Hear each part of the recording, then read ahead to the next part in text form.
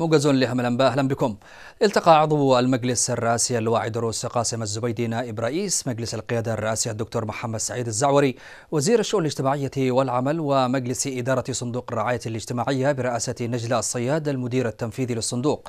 واطلع اللواء الزويدي خلال اللقاء على سير العمل في الصندوق والصعوبات التي تعترض سير العمل فيه والجهود التي تبذلها الوزارة لتفعيل عمل الصندوق واستعادة مقراته في عموم المحافظات وتوسيع نطاق عمله وتمكينه من تنفيذ المشاريع المناط بها.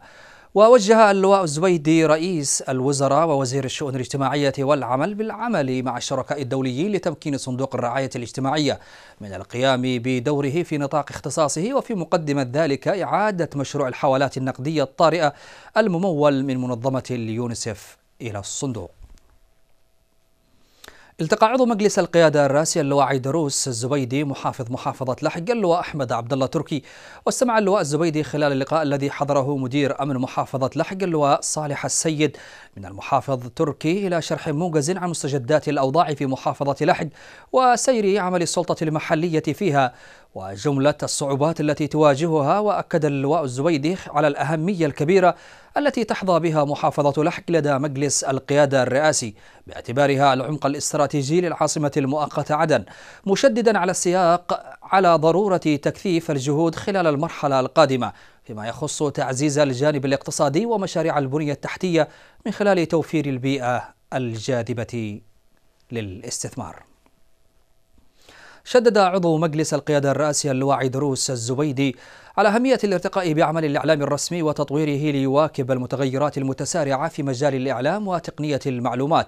جاء ذلك في لقائه مع نائب وزير الإعلام حسين باسليم الذي أطلعه على واقع الإعلام الرسمي والجهود المبذولة لفتح المؤسسات الإعلامية التابعة للوزارة وصيانة مقراتها ورفدها بالمعدات الحديثة لاستئناف عملها من العاصمة المؤقتة عدن وبقية المحافظات.